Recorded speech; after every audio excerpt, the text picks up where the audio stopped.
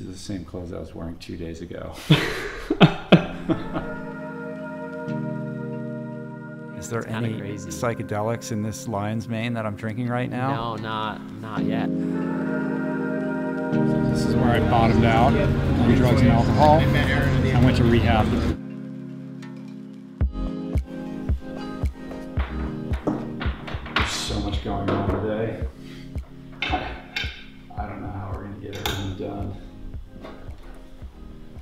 Julie's book is due tomorrow. My book is due tomorrow. Two podcasts today and a podcast on Friday. And we just scheduled another podcast for Saturday.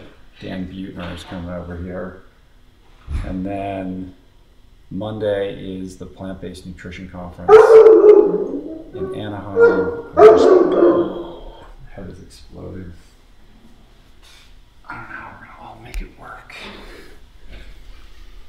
But it will all get done somehow. It always does.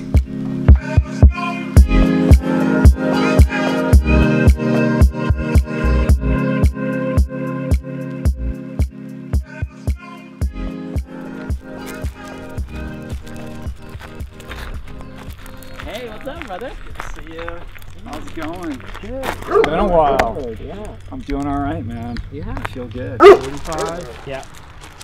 Um, you know, because one one storm, one cold front, right? As you know, Yep. blows it in from the Arctic. So, Yep. Um, it ended up being not so bad. It was like 57. So, Oh, cool. Yeah, it just it, it, it, like the cold water ended up not being an issue, but the but the weather conditions were insane. You, uh, Man, so you Cool. think even smarter? nice man. We should make some of this. Yeah, let's do What it. should we? What do you? What should we make? What would be? What's what would set the best mood for the Let's podcast? let's do no caffeine. Facilitate, facilitate the best conversation. let's do the lion's mane. when your brain needs a hug. All right, man. You want to wear headphones? You don't have to. No, have I don't to. need to. You don't need to. I'm good. Yeah, just make sure you're kind of like. Let me hear how you sound. Check. Check. That's good. Cool. Yeah. I'm sitting here uh, with the original fun guy himself to talk about the magical, mysterious, medicinal properties of the mycelium, the mushroom, right? yeah, the fungi. I know. We're going to unpack all of this. It's really cool. Uh, thank you for coming up here. Thanks thank you for for this. Uh, thank you for bringing some of your products. We're drinking some lion's mane tea. Yay. Maybe a good way to kind of launch into it is just to establish or at least kind of expand people's awareness of this crazy mushroom kingdom because we don't really think about we think about mushrooms in the context of like mushrooms on our pizza and it Yeah. kind of ends there but you know mushrooms are in 40% of pharmaceuticals uh, 92% of plants are dependent on mushrooms 25% of the earth's biomass is is uh, is is mushroom based, fungi Yeah. based, and I think I read uh, in your stuff like eighty five percent of our RNA and half of our DNA is shared with mushrooms. Yeah. That's insane. It is pretty insane. We don't even think about it. It's like this invisible reality that surrounds us and informs our world.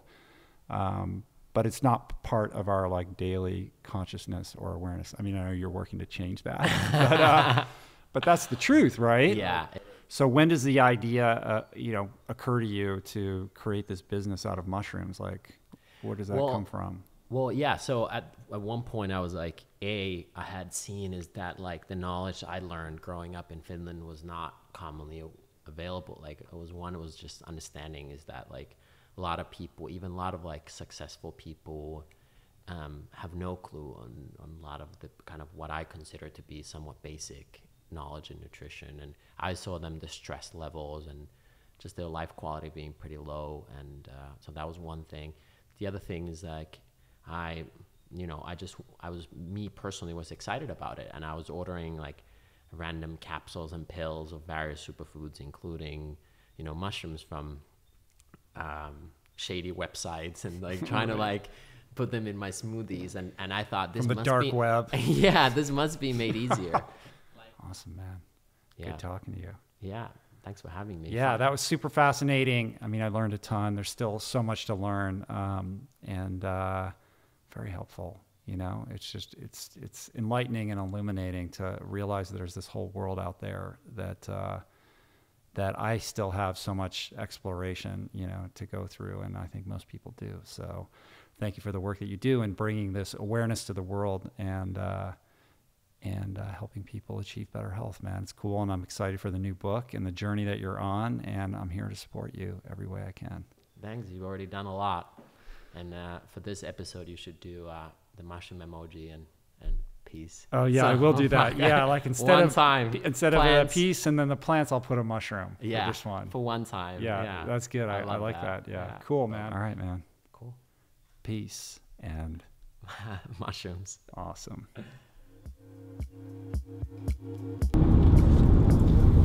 Tero was great. I think people are going to really dig that podcast. Um, I've known him for years and years and years. I think I first met him in like 2012, the very early stages of him uh, creating the company that is now Four Sigmatic.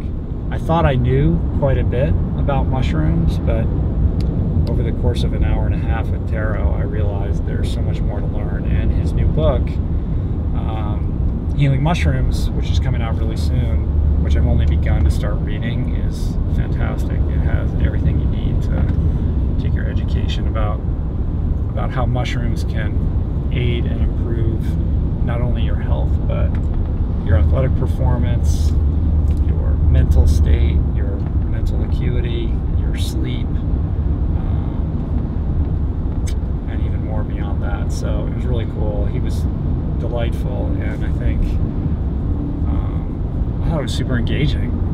I'm excited to share it. When I get a little bit rattled, I write reminders on my hand just so I don't forget stuff. And I wrote these, I wrote this down, wrote these things on my hand, and I'm looking at it and I'm like, I have no idea what that M means. Like, I, what is that? What was I trying to remind myself of? I couldn't, this whole drive down here, I was trying to think, like, what am I supposed to do? And I just realized I'm supposed to call Marco.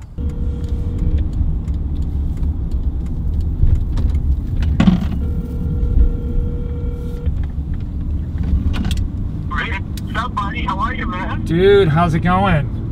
Uh, It's going.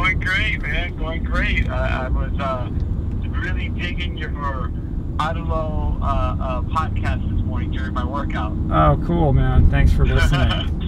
awesome, man. How was it? Absolutely incredible. It was- Life- it was life- insane. life- those life moments. yeah, it was it was just it was larger than life. It was so much harder than I thought it was going to be, and it just you know Really? it, it just delivered on its promise of being you know a, a once in a lifetime you know memory forever.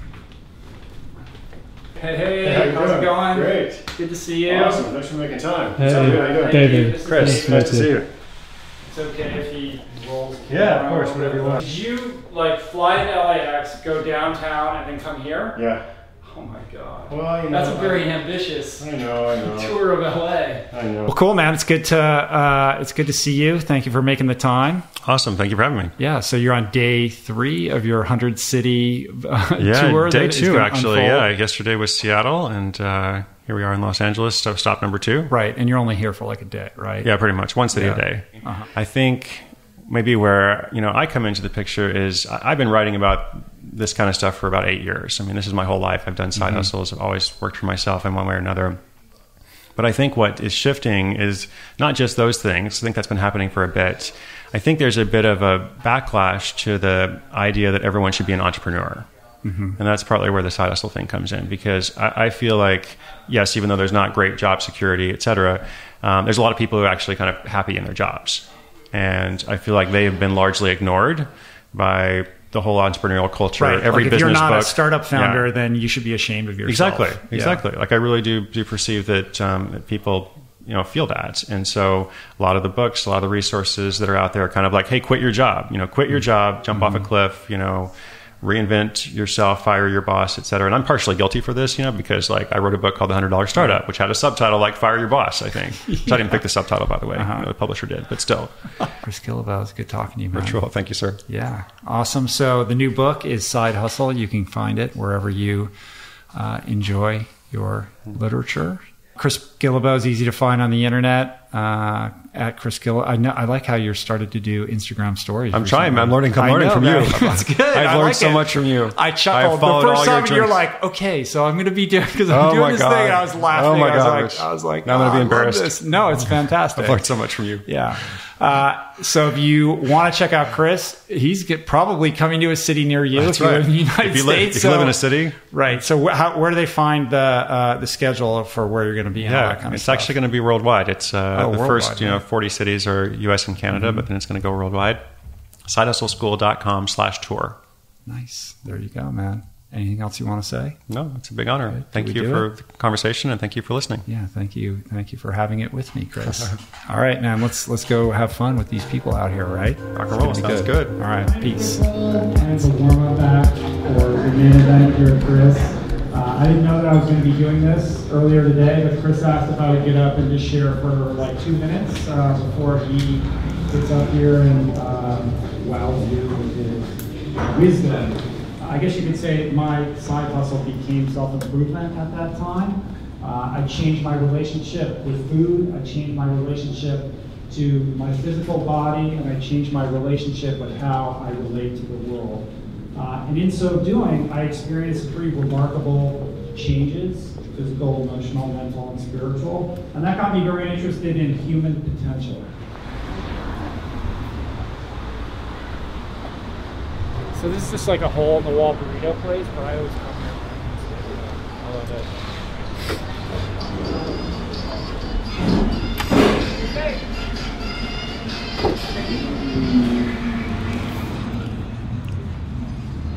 Neighborhood's like all bars.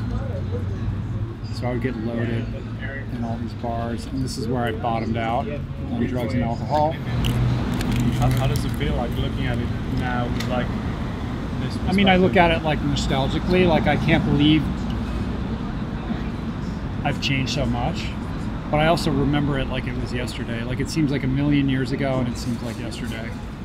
Because I know I still am very much in touch with what that felt like and where I was emotionally at that time. And it, in certain respects, I was a completely different person, but that's still who I am, you know. And it's I actually like it because I can. It helps me remember what I used to be like, and I need to remember that because if I forget, then that's what begins the process of leading backwards back towards that. So I kind of like coming back here because it's, it's even in like the air, like the way the air smells here, like reminds me of it. I want to. Oh, that you're not available. Well, burrito